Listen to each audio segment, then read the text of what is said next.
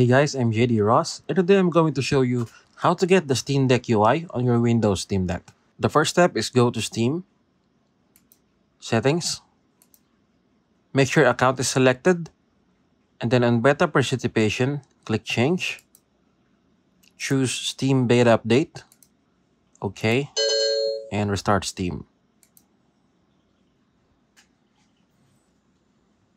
On official release, you can access the Steam Deck UI using Big Picture mode. But at the moment, this is not working. And if you click Big Picture mode, it will bring you to the classic Big Picture mode. In order to use the Steam Deck UI, you're gonna have to create a shortcut for Steam, go to its properties. On the very end of the target, type space dash gamepad UI and click OK just like that. So now we're going to turn off Steam or exit Steam and then we're gonna run this. And this will bring us to the Steam Deck UI.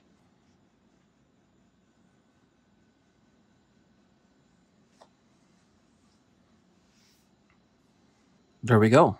The quick settings button is working, but not every option from the SteamOS counterpart is present like audio and mic is not toggleable as well as Bluetooth. Also night mode does not work and on the performance there's not much. It has the show FPS in corner which Steam always had. The Steam button also works and it works just like on the Steam OS.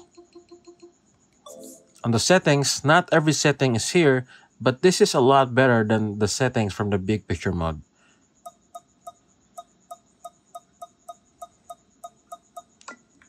If you don't like using the Steam Deck UI with the sounds, unfortunately at the moment, you cannot turn off the navigation audio. Keyboard also works, but only when you are on the Steam Deck UI. When you are in-game, the keyboard does not work. One great thing about having the Steam Deck UI on Windows is it's going to be a lot easier configuring your controls for the Steam Deck. For example, this lets me easily map the buttons that I'm using for Call of Duty Modern Warfare 2. I could even easily configure the gyroscope.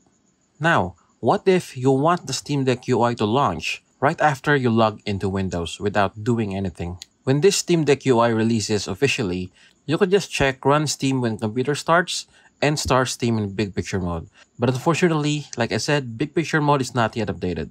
So what we're going to do is disable these two options we're going to manually start Steam from startup. So copy the shortcut that we just made for the Steam Deck UI.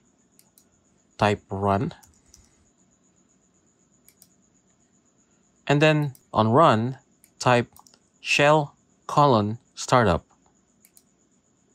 And then paste it here. What's that going to do is when you log into Windows, the Steam Deck UI will launch. I'm going to show you. I'm going to sign out and then sign back in.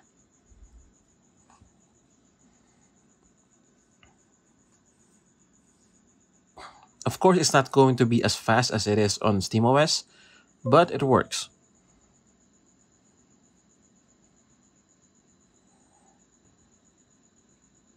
There we go. So that's Steam Deck UI on Windows. If you have any questions, just comment it down below. I'm going to try to answer it as best as I can. You can also join us on Discord. If you found this video useful, make sure to like and subscribe. Thank you for watching and see you on the next video.